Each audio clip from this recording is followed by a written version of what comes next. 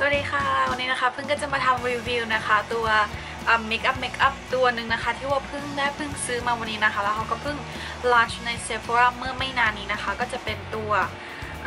นี้นี่เองนะคะ ก็คือ Juicy Shaker นะคะ แต่ว่าจะเป็นเขาเรียกก็เป็นแบบ matte นะคะเขาก็จะมีเป็นแบบ Juicy Shaker แบบว่าเป็น lip gloss แบบเป็น lip oil นะคะแล้วก็จะเป็นแบบว่าแบบว่าลิป Juicy แบบว่าเป็นเขาเรียกว่าอะไรเป็นตัว matte แบบนี้ เขาก็จะชื่อว่า Matte Shaker นะคะ ก็คือความแตกต่างของเขาเนี่ย คือเพิ่งเคยทำงานอยู่ร้านโคม Counter มาก่อนนะคะ ก็ความแตกต่างที่ว่าเพิ่งเคยเรียนรู้กับตัวนี้มาเนี่ยก็คือเขาเป็นลิปออยล์นั่นเองนะคะ มีห้าออยล์มาจากแบบว่ามาจาก sunflower มาจาก almond มาจากอะไรบ้างนะคะเพิ่งก็ไม่แน่ใจเท่าไหร่นะคะ แต่ว่าสีที่เพิ่งมีตัวนี้ชื่อสี very in love นะคะ ก็จะเป็นสีแบบว่าออกชมพูนะคะ เป็นแบบ everyday แบบว่า แล้วก็มีกลิ่นหอมๆเหมือนแบบกลิ่นผลไม้นะคะสำหรับตัว matte shaker เนี่ย ตัวนี้นะคะจะชื่อสี 276 นะคะ ชื่อว่า Big Vintage นะคะ ก็จะเป็นแบบสีออกชมพูแบบมวบแบบนี้นะคะ ก็จะเป็นแบบนี้ส่วนตัวเพิ่งเนี่ยเพิ่งจะชอบเอเมื่อก่อนตอนที่ว่าเพิ่งยังไม่เคยลองเพิ่งก็ส่วนตัวแล้วเพิ่งก็ชอบตัวนี้นะคะจะว่าใช้แบบว่า เป็นแบบ everyday ก่อนเราลงเมคอัพนะคะเดี๋ยวก็จะลองสวอชดูนะก็จะเป็นสีชมพูแบบนี้ ส่วนตัว matte shaker เนี่ยคะก็จะเป็นอืมแต่เพิ่งต้องเขย่าอย่างน้อยเราต้องเขย่าสักแบบเกือบนาทีอะเพิ่งคิดว่านะเพราะว่าถ้าเราไม่เขย่าเขาไม่ดีแล้วสีมันเขาจะไม่ค่อยไปติดตรงฟองน้ำเท่าไหร่เห็นไหมก็จะเป็นแบบนี้นะคะเห็นไหมว่า pigment เขาจะเยอะกว่า pigment เขาจะสูงกว่านะคะ สีก็สวยจริงนะผึ้งชอบนี่โอเคค่ะเราผึ้งจะมาลอง test บน lip ให้ดูนะ โอเคนะคะ ผึ้งจะ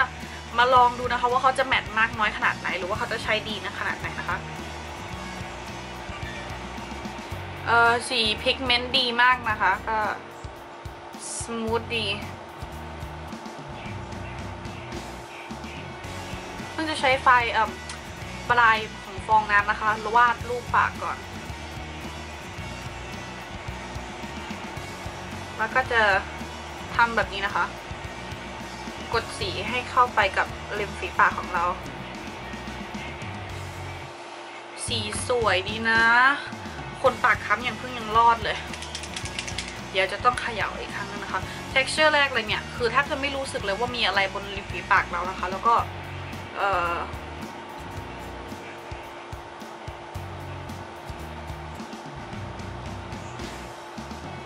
ฟองน้ำเนี่ยใช้ง่ายมากเลย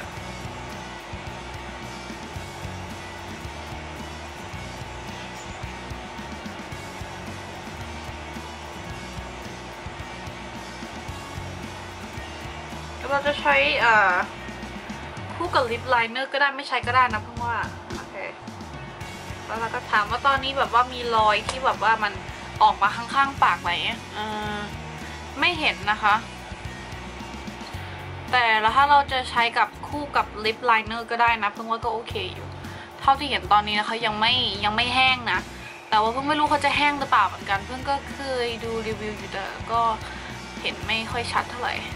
เท่าที่รู้สึกตอนนี้ก็คิดว่าโอเคนะคะ ก็ใช้ได้เลยทีเดียว มันเบาแบบเบาสบายแบบไม่หนักปากแทบจะไม่รู้สึกอะไรเลยอะ โอเคนะคะ ตอนนี้เพิ่งก็ต้องไปทำภารกิจ 2-3ภารกิจนะคะ แล้วเพิ่งจะทำเขาเรียกว่าอะไรแบบว่าเช็คให้ตลอดนะคะ ว่าเออแบบ 5 นาทีผ่านไปถ้าจะกินหรือว่าเวลาพูดหรือว่าคิสพูดหรือว่าเขาแห้งหรือเปล่าเดี๋ยวเพิ่งจะมาอัปเดตอีกทีนึงค่ะอันนี้ก็คือช่วงเช็คอินนะคะ อยู่แค่ประมาณ ตอนที่เพิ่งทานเนี่ยเพิ่งลืมให้ดูนาฬิกานะคะ ก็เป็นตอน9โมงเจ็ดตอนกลางคืนนะคะ ตอนนี้ก็เป็น9โมง15อืมเขายังไม่ dry เท่าไหร่นะคะ แต่ก็รู้สึกว่าเขาแห้งลงไปนิดนึงนะคะ แต่ว่าแบบไม่ได้แห้งเยอะจนเกินไปจนทำให้มันรู้สึกว่ามันหนักปากหรือทำให้มันแบบว่า dry เกินไปนะคะ แล้วเพิ่งจะมาลองจุ๊บมือให้ดูนะว่ามันจะออกมาเป็นยังไง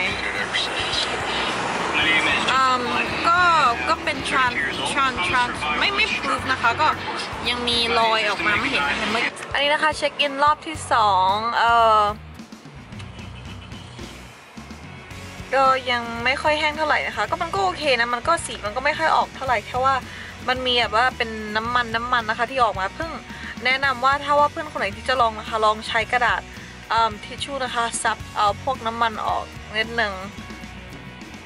เห็นไหมเอ่ย English! ก็ไม่ไม่ English! ไม่ติดเท่าไหร่แฟนส่วนกับเพิ่งก็คิดว่ามันโอเคนะคะเดี๋ยวเพิ่งจะต้องลองไปกินลองไปดื่มน้ำดูนะคะ แล้วก็ดูว่าเขา transfer มากน้อยเท่าไหร่ อันนี้ก็คือเช็คอินครั้งที่สามไปมันเบลอจังเลยอืมคืออะไรนะลิปสติกอืมตอนนี้ก็ completely แห้งไปแล้วนะคะ ไม่ติดมือละ แต่รู้สึกว่าเขาจะเฟดไปหน่อยก็คือสีจางลงไปนะ เดี๋ยวเพิ่งจะมาลองดื่มน้ำ